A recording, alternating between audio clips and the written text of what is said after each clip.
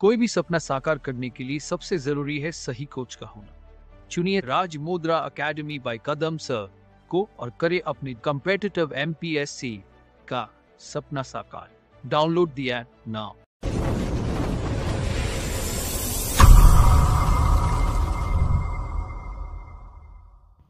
नमस्कार विद्यार्थी मित्रांनो प्रोफेसर दिनेश कदम पाटील सर या यूट्यूब चॅनलवर महाराष्ट्रातील सर्व तमाम विद्यार्थ्यांचं सहर्ष हार्दिक स्वागत. विद्यार्थी मित्रांनो आज आपण या व्हिडिओच्या माध्यमातून आज दिनांक एकतीस जुलै दोन हजार बावीस रोजी झालेला इयत्ता आठवी स्कॉलरशिप पेपर क्रमांक एकची उत्तर तालिका या ठिकाणी पाहणार आहोत. तत्पूर्वी मित्रांनो जर तुम्ही माझ्या चॅनलवर नवीन असाल आणि अद्याप जर चॅनल सबस्क्राईब केलं नसेल तर कृपया चॅनल त्वरित सबस्क्राईब करून घ्या. विद्या विद्यार्थी मित्रांनो जर तुम्हाला व्हिडिओ आवडला तर नक्की लाईक आणि शेअरसुद्धा करा. तर मित्रांनो आता वेळ न घालवता पाहूया इयत्ता आठवी स्कॉलरशिप आज झालेला इयत्ता आठवीच्या स्कॉलरशिपचा पेपर क्रमांक एक उत्तर तालिका. तुम्हाला स्क्रीनवर दिसत असेल प्रश्न क्रमांक एक पुढीलपैकी अशुद्ध शब्द किती आहेत? एक आधुनिक नाविन्य मूल्य नातेवाईक वैद्यकीय स्वीकार येऊन ठेवून ठराविक. यामध्ये अशुद्ध शब्द किती आहेत याचे पर्याय क्रमांक एक पाच दोन चार तीन सहा चार तीन. तर याचं योग्य उत्तर आहे मित्रांनो पर्याय क्रमांक एक पाच. यामध्ये पाच अशुद्ध शब्द आहेत आणि ते कोणकोणते बघा. तर आधुनिकमध्ये आ पाहिजे या ठिकाणी आधुनिक एक आहे. दुसरा वैद्यकीय येऊन ठेवून येऊन ठेवूनमध्ये ऊ उसाचा हा दीर्घ उ जो आहे तो स्वर वापरला पाहिजे होता परंतु इथे व वापरलं त्यामुळे दोन्हीही चुकीचे आणि ठराविक. म्हणून योग्य उत्तर असेल याचं पर्याय क्रमांक एक पाच. हे जे आहे हे आहे. पुढीलपैकी अशुद्ध शब्द किती आहेत? पहिल्या प्रश्नाचं योग्य उत्तर पर्याय क्रमांक एक पाच. हे येईल. प्रश्न क्रमांक दोन. गावातील सर्व गावकरी त्याच्या त्या गोष्टीची पुन्हा पुन्हा चर्चा करत होते. या वाक्यातील अधोरेखी शब्दाच्या अर्थाचा योग्य अलंकारिक शब्द निवडा. तर अधोरेखित केलेला शब्द असा आहे त्याच्या त्या गोष्टीची पुन्हा पुन्हा चर्चा. याचे पर्याय क्रमांक एक अंधेर नगरी दोन चर्वित चर्वण तीन तारेवरची कसरत चार यक्ष प्रक्ष. तर याचं योग्य उत्तर आहे दोन. प्रश्न क्रमांक दोनचं योग्य उत्तर पर्याय क्रमांक दोन चर्वित चर्वण हे येते मित्रांनो. प्रश्न क्रमांक तीन उपरती होणे या वाक्यप्रचाराचा योग्य समानार्थक वाक्यप्रचार कोणता? पर्याय क्रमांक एक परावृत्त होणे. दोन उपकार स्मरणे. तीन भ्रमनिरास होणे. चार स्मरण करणे. उपरती होणे या वाक्यप्रचाराचा योग्य समानार्थक वाक्यप्रचार जो आहे त्याचं उत्तर. पर्याय क्रमांक तीन भ्रमनिरास होणे. हे येते मित्रांनो. प्रश्न क्रमांक चार पुढीलपैकी कोणत्या पर्यायातील म्हणीचा अर्थ योग्य आहे? अचूक उत्तराचे दोन पर्याय निवडा. तर या ठिकाणी दोन पर्याय आपल्याला निवडावयाचे आहेत मित्रांनो. तर बघा प्रश्न चारचं पर्याय. नंबर एक दे माय धरणी ठाय. अगदी सर्व बाजूंनी त्रासून जाणे. दोन ज्या गावच्या बोरी त्याच गावच्या बाभळी. ओळखीच्या माणसांना एकमेकाची वर्मी माहीत असतात. तीन ओळखीचा चोर जीवेनी सोड. अनोळखी माणसे धोकादायक असतात. चार आपला हात जगन्नाथ स्वतःहून एखादी पिढा मागे लावून घेणे. तर प्रश्न क्रमांक चारचे योग्य उत्तरे दोन अशी आहेत. एक आणि दोन दे माय धरणी ठाय म्हणजे अगदी सर्व बाजूंनी त्रासून जाणे. आणि दुसरा पर्याय ज्या गावच्या बोरी त्याच गावच्या बावळी याचा अर्थ ओळखीच्या माणसांना एकमेकाची वर्मी माहीत असतात. म्हणून प्रश्न क्रमांक चारचे योग्य दोन उत्तरे पर्याय क्रमांक एक व पर्याय क्रमांक दोन ही आहेत मित्रांनो. प्रश्न क्रमांक पाच हा वर्णमालेवर आधारित आहे. पुढीलपैकी कोणत्या पर्यायातील शब्दात अनुस्वाराचा उच्चार अयोग्य अनुनासिक वापरून लिहिला आहे? पर्याय क्रमांक एक संजय. संजयमध्ये त्र सरका न वापरलेला आहे. दुसरा पर्याय चंचल यामध्ये नळाचा न वापरलेला आहे. तिसरा पर्याय भांडण याच्या भांडण धनुष्यबाणाचा न रंगमध्ये ग्य हे अनुनासिक वापरलेलं आहे. तर याचं योग्य उत्तर जे आहे अयोग्य निवडायचं आहे आपल्याला चुकीचं तर याचं उत्तर असेल पर्याय क्रमांक दोन चंचल. चंचलमध्ये जो न पाहिजे तो अन आपला च छ ज झ अन. जो त्र सारखा येतो तो अन या ठिकाणी वापरायला पाहिजे. ज्या प्रकारे संजयमध्ये वापरलेला आहे तोच अनुनासिक चंचलमध्ये वापरायला पाहिजे होतं परंतु ते न वापरता यांनी नळाचा न वापरलेला आहे. त्यामुळं पर्याय क्रमांक दोन हे चुकीचं आहे अयोग्य आहे. म्हणून प्रश्न क्रमांक पाचचे योग्य उत्तर पर्याय क्रमांक दोन हे असेल मित्रांनो. पुढे पाहूया मित्रांनो प्रश्न क्रमांक सहा. पुढीलपैकी कोणत्या पर्यायातील जोड शब्दाची संधीपोड योग्य नाही? म्हणजे कोणत्या शब्दाची दिलेली संधी ही चुकीची दिलेली आहे ते ओळखायची आहे. पर्याय एक अल्पोपाहार अल्प अधिक उपाहार दोन आजादी अच अधिक आदी तीन सच्चरित्र सत अधिक चरित्र चार दुष्कर दु विसर्ग अधिक कर. तर या ठिकाणी योग्य नसलेली जी काही जोडी आहे ती पर्याय क्रमांक एक अल्पोपहार हे चुकीचं आहे. संधी त्याची अल्प अधिक उपहार दिली ते अशी पाहिजे होती अल्प अधिक उपाहार पा याला काणा पाहिजे होता परंतु तो नाही. म्हणून हे एक नंबर चूक आहे. म्हणजे सहाचं योग्य उत्तर असेल पर्याय क्रमांक एक. त्यानंतर प्रश्न क्रमांक सात. पुढीलपैकी समुच्चय बोधक उभयन्वयी अवयाने जोडलेले वाक्य निवडायचे आहेत आणि अचूक दोन पर्याय या ठिकाणी निवडायचे आहेत. ओके समुच्चय बोधक उभयन्वयी अवयामध्ये दुसरं वाक्य हे पहिल्या वाक्यामध्ये अधिकची भर घालते मित्रांनो. जसं की जोराचा वारा सुटला आणि घरावरील पत्रे उडून गेली. अशा प्रकारचं भर टाकणारं वाक्य आपल्याला शोधायचं आहे तर पहिला पर्याय मी गुरांना पाणी पाजले शिवाय चारा टाकला. दुसरा पर्याय पूर्वी निकाल जाहीर झाला की प्रवेशासाठी कॉलेजवर गर्दी दिसायची. तीन नऊ वाजताची बस चुकली सबब शाळेत यायला उशीर झाला. आणि चार तुला सर्व वस्तू दिल्या आहेत आणखी काय हवे असल्यास सांग. तर या ठिकाणी सातचं योग्य उत्तर आहे पर्याय क्रमांक एक आणि चार. मी गुरांना पाणी पाजले शिवाय चारा टाकला आणि तुला सर्व वस्तू दिल्या आहेत आणखी काय हवे असल्यास सांग. म्हणून प्रश्न क्रमांक सातचे योग्य उत्तर पर्याय क्रमांक एक आणि चार. प्रश्न क्रमांक आठ मराठी भाषेत मूळ सर्वनामे किती आहेत? पर्याय एक नऊ दोन पाच तीन दहा चार बारा. तर याचं योग्य उत्तर असेल प्रश्न क्रमांक आठचं योग्य उत्तर पर्याय क्रमांक एक. नऊ ही मराठीमध्ये मूळ सर्वनामे आहेत. मी तू तो हा जो कोण काय आपण स्वतः अशी नऊ सर्वनामे मराठीमध्ये आहेत मित्रांनो. प्रश्न क्रमांक नऊ पुढीलपैकी वचन बदलानुसार विसंगत जोडी ओळखायची आहे. थोडी तब्येत ठीक नाही मित्रांनो त्यामुळे आवाज थोडा वेगळा येत असेल माझा. प्रश्न क्रमांक नऊ पुढीलपैकी वचन बदलानुसार विसंगत जोडी ओळखायची आहे. साध्वी साध्वी वचन बदलानुसार करायचं आहे लिंगानुसार नाही. दुसरा पर्याय टीच टीचा. तिसरा आसू आसवे चौथा तिथी तिथ्या. तर या ठिकाणी विसंगत जोडी आहे. पर्याय क्रमांक चार तिथी तिथ्या. हे चुकीचं आहे. इथं तिथी तिथा असं पाहिजे होतं. तिथा पाहिजे होतं. म्हणून प्रश्न क्रमांक नऊचे योग्य उत्तर पर्याय क्रमांक चार. हे असेल मित्रांनो. प्रश्न क्रमांक दहा पुढे दिलेल्या वाक्यातील अधोरेखित केलेल्या सामान्य रूपातील शब्दाचा मूळ शब्द कोणता? तो रखवालीच्या पवित्र्यात पलंगाखाली बसून राहिला. पर्याय एक पवित्र. दोन पावित्र्य. तीन पवित्रा. चार पावित्र्या. तर याचं योग्य उत्तर आहे पवित्र. दहा प्र दहाव्या प्रश्नाचं योग्य उत्तर असेल पर्याय क्रमांक एक पवित्र. हे प्रश्न क्रमांक अकरा पुढीलपैकी कर्मणी प्रयोग असणारे वाक्य कोणते? अचूक दोन पर्याय निवडायचे आहेत. कर्मणी प्रयोग बघा मित्रांनो. कर्मणी प्रयोगाचं वाक्य ओळखायचं आहे आणि याचे दोन पर्याय तुम्हाला गोल करायचे आहेत. कर्मणी प्रयोगामध्ये कर्माच्या लिंग आणि वचनानुसार जेव्हा क्रियापदामध्ये बदल होतो तेव्हा तो कर्मणी प्रयोग असतो. कर्मणी प्रयोगामध्ये कर्त्याला शंभर टक्के प्रत्यय लागलेला असतो आणि कर्मणी प्रयोगातील क्रियापद हे भूतकाळी स्वरूपाचं असते. तर बघा यामधली कोणती आहेत कर्मणी प्रयोगाची वाक्य? पहिला पर्याय मी संगणकावरही ई पुस्तके वाचतो. दुसरा गायीने आपल्या पाडसासाठी हंबरडा फोडला. तिसरा पर्याय कालच मला वेतन मिळाले. चौथा कार्यक्रमातील प्रत्येक गाण्याला त्यांनी कस लावला?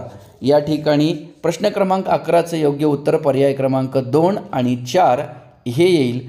गायीने आपल्या पाडसासाठी हंबरडा फोडला आणि कार्यक्रमातील प्रत्येक गाण्याला त्यांनी कस लावला हे या ठिकाणी योग्य उत्तर असेल मित्रांनो. म्हणून अकराचं योग्य उत्तर पुन्हा एकदा सांगू इच्छितो. पर्याय क्रमांक दोन आणि चार हे दोन अचूक पर्याय असतील. पुढे पाहूया. प्रश्न क्रमांक बारा. मी मुद्दामच त्या ठिकाणी गेलो होतो. या वाक्याचा अर्थ न बदलता कोणते अकरणरूपी वाक्य तयार होईल? आता करणरूपी म्हणजे होकारार्थी तर अकरणरूपी म्हणजे नकारार्थी. तर आपल्याला होकारार्थी वाक्याचं नकारार्थी वाक्यामध्ये रूपांतरण करावयाचं आहे. तर हे रूपांतरण करताना फक्त विरुद्धार्थी शब्द वापरायचा आणि नकारार्थी शब्द वाक्यामध्ये आला पाहिजे. पर्या बघा वाक्य असं होतं मी मुद्दामच त्या ठिकाणी गेलो होतो. हे झालं होकारार्थी याचं अकरणरूपी करायचं आहे म्हणजे नकारार्थी करायचं आहे. पर्याय क्रमांक एक मी मुद्दामच त्या ठिकाणी जात नाही. दोन मी मुद्दामच त्या ठिकाणी गेलो नाही. तीन मी सहजच त्या ठिकाणी गेलो. चार मी सहजच त्या ठिकाणी गेलो नव्हतो. म्हणून या ठिकाणी बघा बाराचं योग्य उत्तर असेल पर्याय क्रमांक चार.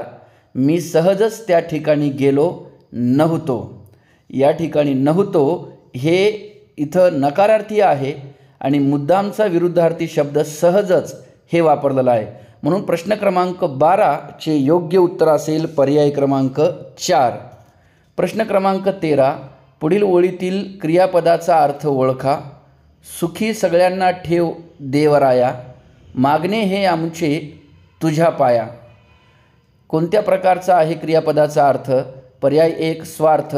दोन आज्ञार्थ. तीन संकेतार्थ. चार विद्यार्थ. तर आपणास माहिती आहे की आज्ञार्थमध्ये प्रार्थना येते म्हणून तेराचं योग्य उत्तर असेल पर्याय क्रमांक दोन आज्ञार्थ.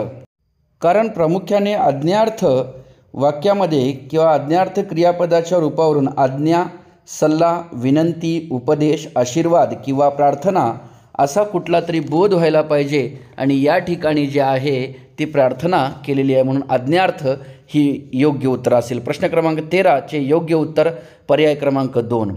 प्रश्न क्रमांक चौदा पुढीलपैकी बहुव्रीही समासाचे उदाहरण कोणते? पर्याय एक गतवैभव दोन गैरहजर तीन स्त्री पुरुष चार ग्रंथकार. तर योग्य उत्तर असेल बहुरी समासाचे उदाहरण. पर्याय क्रमांक एक गतवैभव. गेले आहे वैभव ज्याच्यापासून असा तो. म्हणजेच या ठिकाणी काय येईल? विभक्ती बहुव्रीही समास. असं उत्तर असेल. म्हणून चौदाचे योग्य उत्तर पर्याय क्रमांक एक. पुढीलपैकी उत्प्रेक्षा अलंकारात कोणता साम्यवाचक शब्द येणार नाही? पर्याय क्रमांक एक वाटे दोन जणू तीन की चार गत. उत्प्रेक्षा उत्प्रेक्षा म्हणजे कल्पना. ज्या पद्यचरणामध्ये वाक्यामध्ये ओळीमध्ये एक्झाम्पलमध्ये स्टेटमेंटमध्ये विधानामध्ये एक वस्तू दुसऱ्या वस्तूसारखी आहे अशी कल्पना केली जाते. त्या ठिकाणी उत्प्रेक्षा हा अलंकार होतो आणि उत्प्रेक्षा अलंकारामध्ये साम्यवाचक शब्दामध्ये जणू गमे वाटे भासे जणू काय असे शब्द येतात. की हा शब्द जो आहे तो येत नाही. म्हणून प्रश्न क्रमांक पंधराचं योग्य उत्तर असेल पर्याय क्रमांक तीन की हे? प्रश्न क्रमांक सोळा तुरुंगात असताना सावरकरांनी कोणते महाकाव्य लिहिले? पर्याय एक ग्रामगीता दोन रामचरित मानस तीन गोमंतक चार अखंड. योग्य उत्तर असेल गोमंतक. तुरुंगात असताना सावरकरांनी कोणते महाकाव्य लिहिले? तर तुरुंगात असताना विनायक दामोदर सावरकरांनी गोमंतक नावाचं महाकाव्य लिहिलेलं आहे मित्रांनो. म्हणून सोळाचे योग्य उत्तर असेल पर्याय क्रमांक तीन. प्रश्न क्रमांक सतरा साहित्यिक व त्याची टोपण नावे यानुसार कोणती जोडी चुकीची आहे? चुकीची जोडी ओळखायची आपल्याला साहित्यिक आणि त्यांच्या संपूर्ण नावाची. विनायक नारायण वामन टिळक. दोन दिवाकर शंकर काशीनाथ गर्गे. तीन लोकहितवादी गोपाळ हरी देशमुख. चार ग्रेस माणिक शंकर गोडघाटे. सतराचं योग्य उत्तर असेल चुकीची जोडी आहे. पर्याय क्रमांक एक विनायक नारायण वामन टिळक हे चुकीचं आहे. त्यांना वाना टिळक असं म्हटलं जाते. म्हणजे सतराचं उत्तर आहे पर्याय क्रमांक एक मित्रांनो. पुढे पाहूया मित्रांनो अठरा ते वीस असे तीन प्रश्न हे उतार्यावर आधारित आहेत. उतारा या प्रकारचा. सामूहिक कार्य हे मधमाशांच्या मधुकुंभासारखे असते. राणी माशीला त्या रचनेत महत्त्वाचे व्यक्तिगत कार्य असते. तेवढेच महत्त्वाचे कामकरी माशांना सर्वांच्या स सहयोगातून बिंदू बिंदूतून मधुकोश जमा होत असतो. या उलट हुकुमशहाच्या आदेशाची तुलना वारुळातून निघणाऱ्या मुंग्यांशी करावी लागेल. गावातल्या प्रत्येक व्यक्तीला मधमाशीसारखा सहयोग अंश लाभला पाहिजे. तो माणूस तो तपा तो तपासून पाहिला पाहिजे. आजच्या संकरित समाजव्यवस्थेसाठी भरघोस स्नेहाचे पीक घ्यायला अशा दक्षतेची आवश्यकता आहे. या कल्पनेत आहे तीसुद्धा या माणुसकीचीच उत्तम जोपासलेली समाज व्यक्तिशक्तीबरोबरच भक्तीसुद्धा वाढली पाहिजे. स्पर्धेपेक्षा देखील सहकारातून आपण जास्त कमवू शकतो याचा इसार आजच्या काळाने दिला आहे. तर हा उतारा होता मित्रांनो या उतार्यावर तीन प्रश्न प्रश्न क्रमांक अठरा. उत्तम समाजव्यवस्थेसाठी कोणत्या गोष्टीची आवश्यकता नाही? पर्याय एक शक्तीची. दोन आदेशाची. तीन माणुसकीची. चार प्रेमभावाची. तर अठराचं योग्य उत्तर असेल पर्याय क्रमांक एक शक्तीची. प्रश्न क्रमांक एकोणावीस.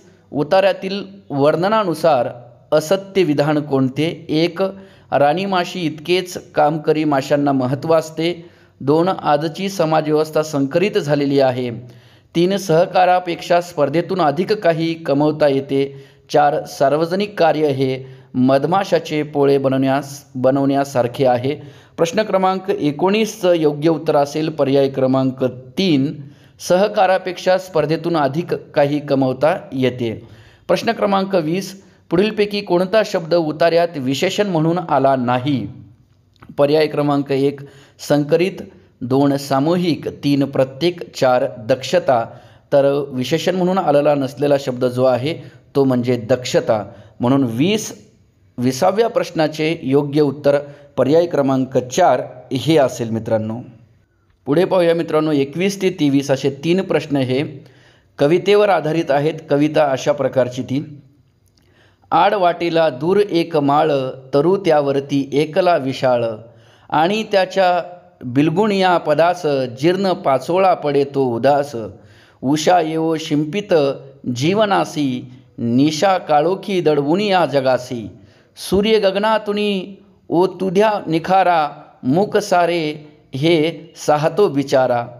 तरुवरची हसतात त्यास पाने हसे मुडभर ते गवतही मजेने. वाट सरुवा तुडवीत त्यास जात तरी पाचोळा दिसे नित्य शांत. आणि अंती दिन एक त्या वनात येई धावत चौफेर क्षुब्धवात. दिसे पाचोळा घेरुनी तयाते नेई उडवुनी त्या दूर दूर कोठे. आणि जागा हो मोकळी तळाशी पुन्हा पडाण्या वर्तुनी पर्णराशी. तर ही पद्यरचना होती कविता होती आणि या कवितेवर आधारित प्रश्न एकवीस ते तेवीस असे तीन प्रश्न आहेत मित्रांनो. ते प्रश्न पाहूया. प्रश्न क्रमांक एकवीस कवितेतील वर्णनानुसार दुःख कोणाला झाले आहे? पर्याय एक काळोख्या रात्रीला दोन गळून पडलेल्या पानास तीन धगधगत्या सूर्याला चार ओसाड माळाला. एकवीसचं योग्य उत्तर असेल पर्याय क्रमांक दोन गळून पडलेल्या पानास. प्रश्न क्रमांक बावीस कवितेतील नाम व त्याला दिलेले विशेषण यातील अयोग्य जोडी ओळखा.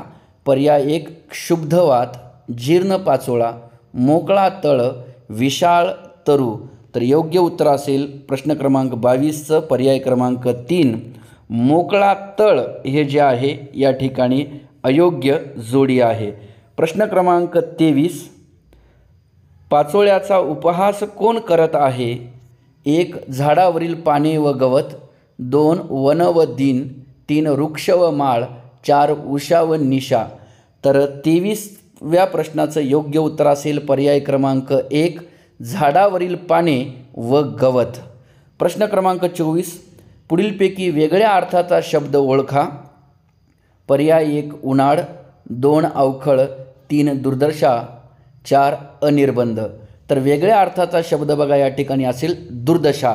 हा वेगळा अर्थ आहे उन्हाळ अवखळ आणि अनिर्बंध हे एकच अर्थाचे शब्द आहेत. तर वेगळा शब्द दुर्दशा हा येतो. म्हणून चोवीसचं योग्य उत्तर असेल पर्याय क्रमांक तीन. आणि शेवटचा प्रश्न मित्रांनो आता प प्रश्न क्रमांक पंचवीस. क्लेश या शब्दाचा योग्य विरुद्धार्थी शब्द कोणता? तर बघा क्लेश म्हणजे दुःख आणि याचा विरुद्धार्थी शब्द आपल्याला निवडायचा होता. प्रश्न क्रमांक पंचवीस पुनश्च एकदा सांगू इच्छितो. सोपा प्रश्न होता क्लेश या शब्दाचा योग्य विरुद्धार्थी शब्द कोणता? तर पर्याय एक दुःख दोन क्रोध तीन सुख चार खंत. तर क्लेश याचा जो काही समानार्थी शब्द येतो तो म्हणजे दुःख आणि दुःख म्हणजेच क्लेश याच्या विरुद्धार्थी शब्द येतो ते म्हणजे सुख. म्हणून प्रश्न क्रमांक पंचवीसचं योग्य उत्तर असेल पर्याय क्रमांक तीन मित्रांनो. पंचवीसचं योग्य उत्तर पर्याय क्रमांक तीन. तर अशा रीतीने मित्रांनो आज दिनांक एकतीस जुलै दोन हजार बावीस रोजी शिष्यवृत्ती अर्थात आठवी स्कॉलरशिप पेपर क्रमांक एक मराठीची आपण या ठिकाणी उत्तर तालिका पाहिलेली आहे. निश्चितरित्या हीच उत्तरे परीक्षा परिषद पुणेच्या उत्तर तालिकेतसुद्धा येतील अशी मी आशा व्यक्त करतो. मित्रांनो जर तुम्हाला हा व्हिडिओ आवडला असेल तर तुमच्या कृपया सर्व मित्रपरिवारांपर्यंत हा व्हिडिओ पोहोचवा.